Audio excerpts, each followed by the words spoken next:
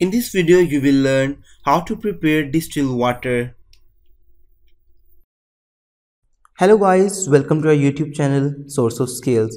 Please like and subscribe our channel for informative videos. The required apparatus for this process includes distillation flask, thermometer, water condenser, a cork, iron stand, burner, and a storage tank. So for the setting, take a distillation flask and add tap water in it. Put the distillation flask on the iron stand and close the upper opening with cork. Adjust the thermometer in the hole of the cork to measure temperature. Set the condenser with the side opening of the distillation flask. For the exchange of heat, cooling tap water is used.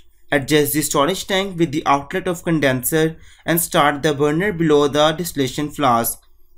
When it starts the temperature of water goes to 100 degrees Celsius, it will start boiling and vapors will form. These vapors goes to the pipe of condenser and due to cooling water, they condense back into the liquid and drop down into the storage tank. So that's how the water start distillating and you will get clean distilled water. So the condenser is a type of heat exchanger and absorbs the heat of vapors and convert them into the drops of liquid. The same process happens with the cloud that they are formed with vapors and when temperature decreases they convert into drops and form rain. So that's how our water is condensed back from vapors into the liquid.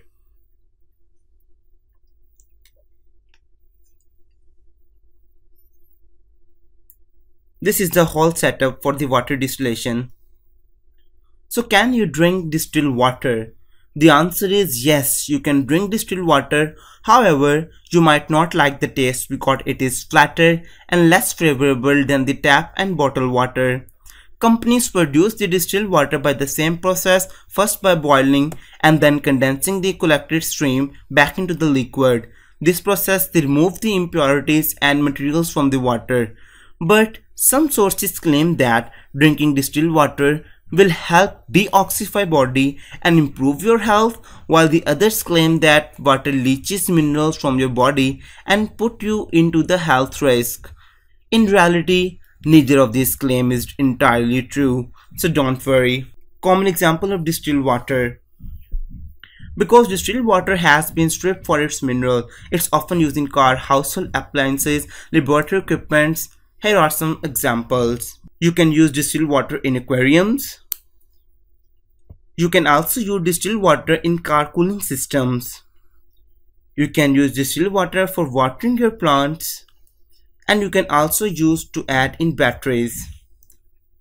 For experimental purposes, we use distilled water in different equipments because this distilled water cannot form scales while we operate. Please like and subscribe our channels for more videos.